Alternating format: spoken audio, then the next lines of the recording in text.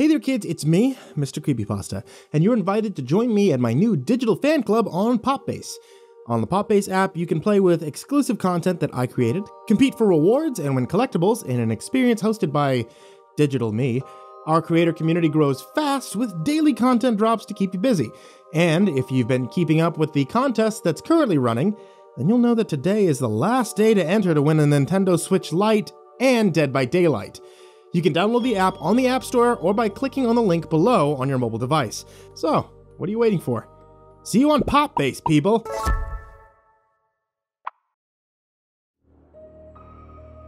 I work at a gas station in rural Pennsylvania. It's a boring job, but it's pretty easy and it pays all right. A few weeks ago, this new guy started. I'll call him Jeremy. Jeremy's weird. He's about 25 or 26, and he hardly speaks, but he's got the creepiest laugh I've ever heard. My boss and I have both noticed this, but it's never been a problem. There's not much that we can do about it. Customers have never complained about him, and he's always done his job fairly well. Up until a few weeks ago. Anyway, that's when things started going missing.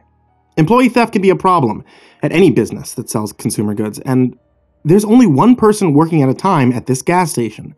It's a pretty small place. About two weeks ago, my boss started noticing that we were short on motor oil. At first, it was a few containers at a time, then entire shelves and boxes from the back room. Pretty soon, entire shipments would be gone the day after we got them, and it would always be right after Jeremy's shifts. My boss has checked the security camera tapes from every single night that he worked, but he could never catch him in the act. Jeremy would lock up at closing, then the motor oil would be gone the next day.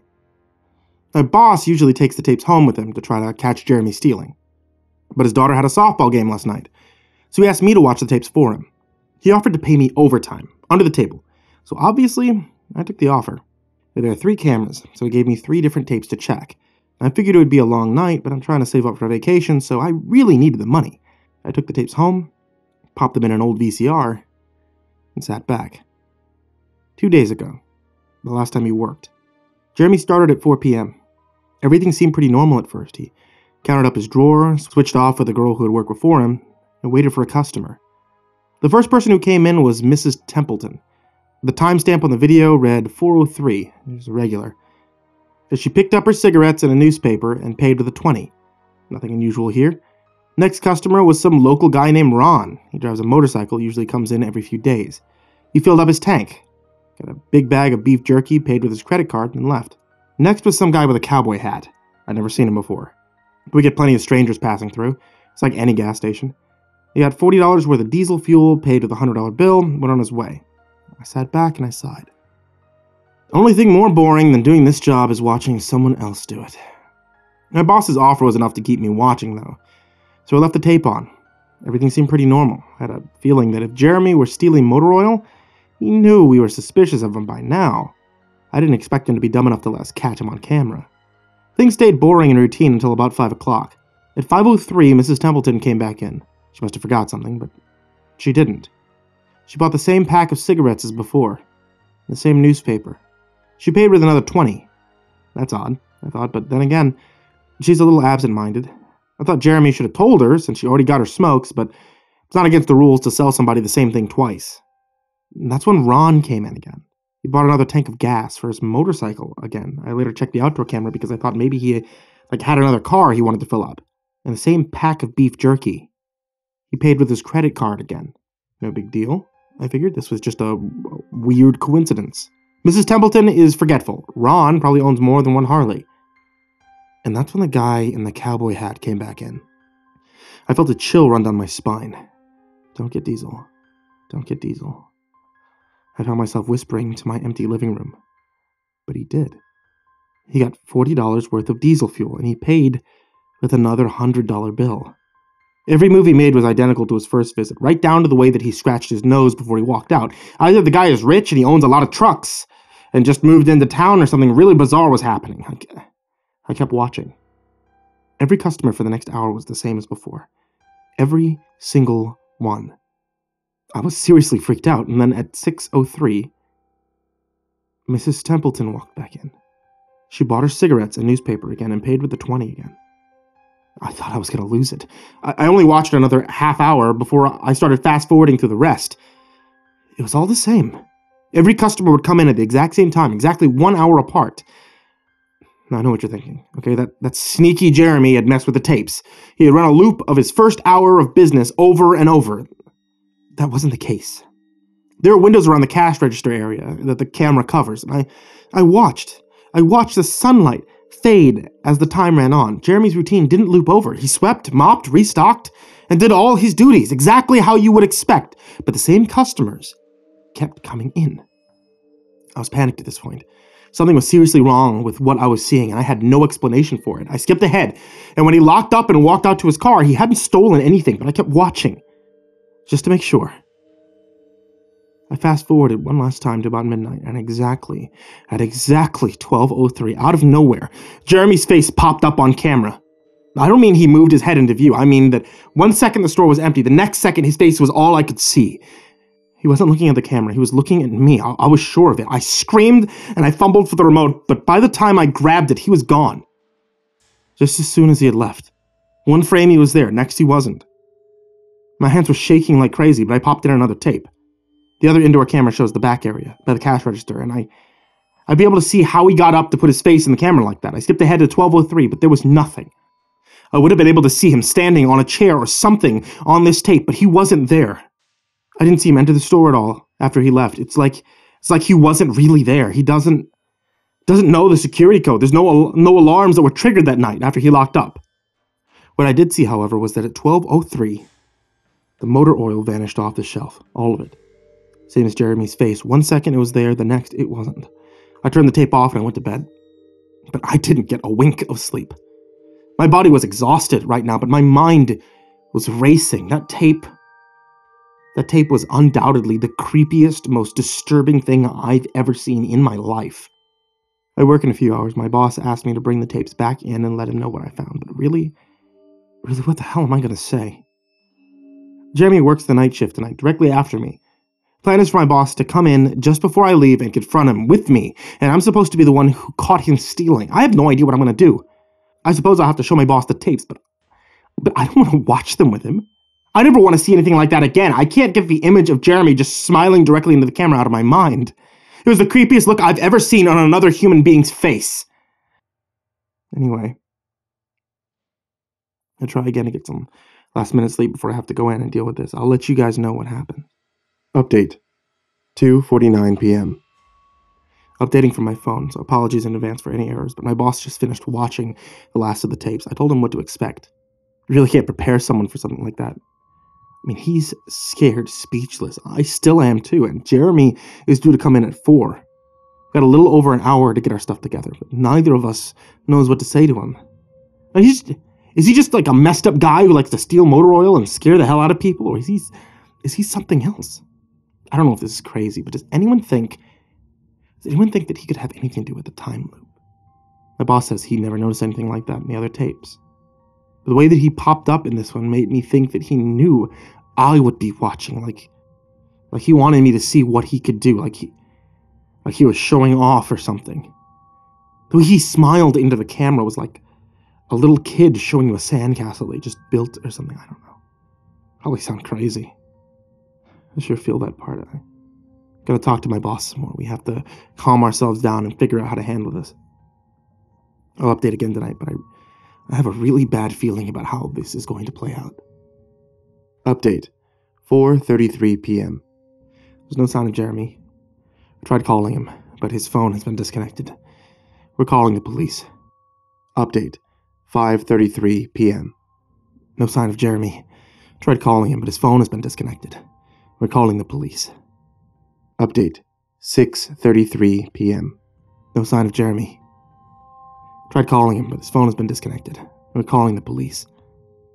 Update 7:33 p.m. No sign of Jeremy. Tried calling him, but his phone has been disconnected. We're calling the police. Update 8:33 p.m. No sign of Jeremy. Tried calling him, but his phone has been disconnected. We're calling the police. Update 10:58 p.m. Oh my god. Oh my god. I, I just got home. I saw my previous updates. Things uh things make less sense now than ever. Okay, here, here's what here's what I can tell you. Okay, I went to work. Jeremy never showed up. My boss and I decided to call the police, as as you're as you're well aware. Uh, okay, when I when I picked up the phone to call though, the sun went out. I I don't.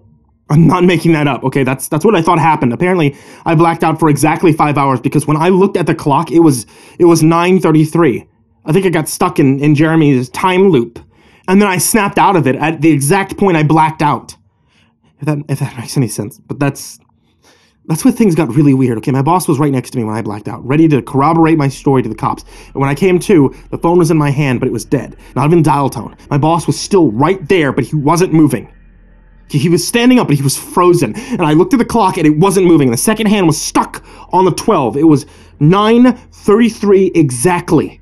The clock on the counter, the, the computer screen, wasn't moving either. My phone was frozen. There was there was even a customer at the register waiting for my boss to get him cigarettes, and that would have been his fifth pack of the day.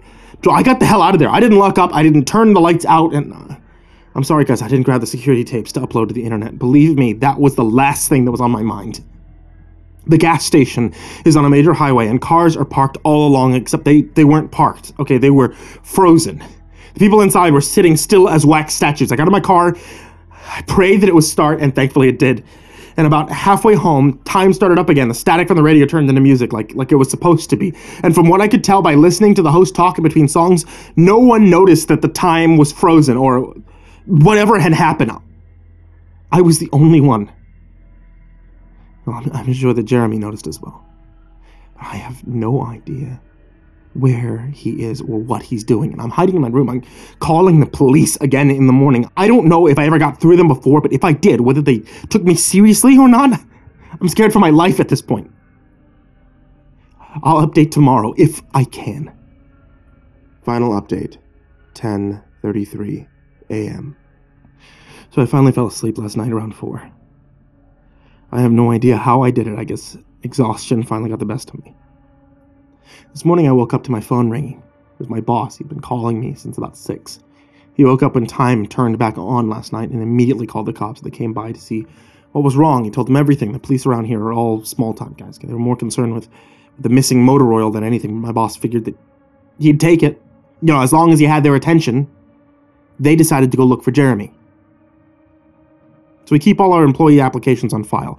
And since Jeremy just started working here, his was easy to find. They checked the address on it and they headed over to his house. And you're not going to believe what they found.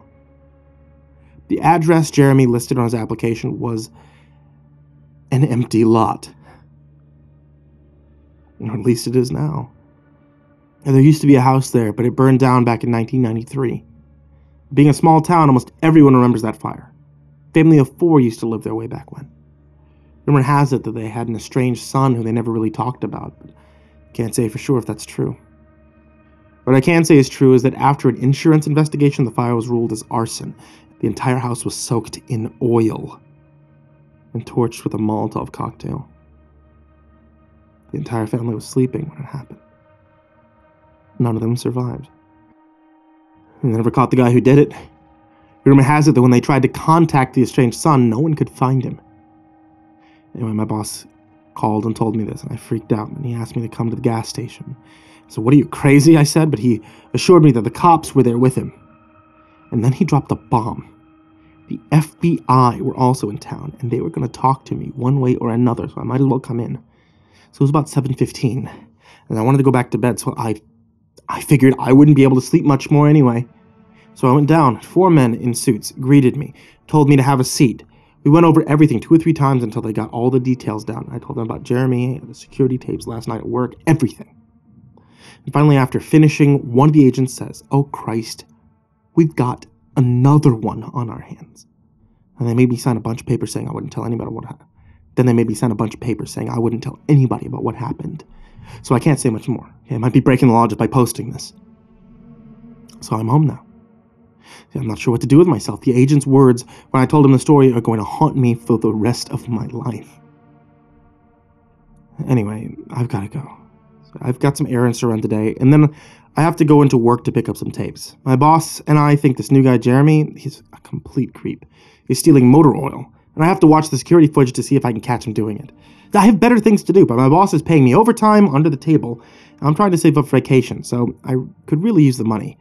It should be pretty simple. Oil always goes missing right after his shifts. I figure I'll just watch the tapes, catch him in the act, and that'll be that.